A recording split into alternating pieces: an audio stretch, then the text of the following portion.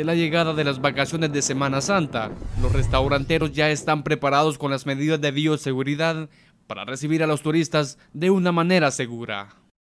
Tenemos muchas medidas, por lo cual por esta cuestión que ha dado aquí, y la verdad las cosas que aquí nuestras medidas es andar con las mascarillas, tenemos puriagua, este, lavado de manos frecuentemente, este, tenemos muchas cosas, porque la verdad las cosas que la unidad de salud también está pendiente de todo eso. Aquí esperando a todos los visitantes y recomendándoles que no vayan a olvidar su mascarilla. Y aquí les tenemos variedad de comida, cócteles y ceviches. Ya estamos preparados para recibir a todos los turistas que nos van a visitar en esta temporada. Los comerciantes de la playa Barra de Santiago ofrecen variedades de platillos refrescantes u otros productos. Le vendo minutas de vaso, de plato, con fruta, con leche, de limón, con chile.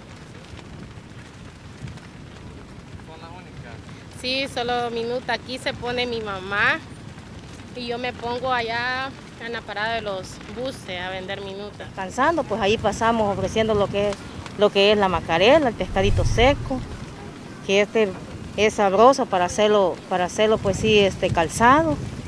Y se puede hacer en varias formas, como frito, entomatado, pero la tradición es hacerlo calzado. Por acá andamos este, ofreciendo las sombrillas playeras con protector solar para todos los veraneantes. Y acá de la playa, este, la Barra Santiago, aquí ofreciendo los, las sombrillas playeras a buen precio para que las puedan este, aprovechar.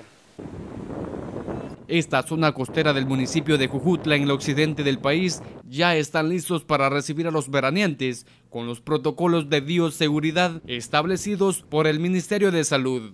Néstor Vázquez, Informativo 16.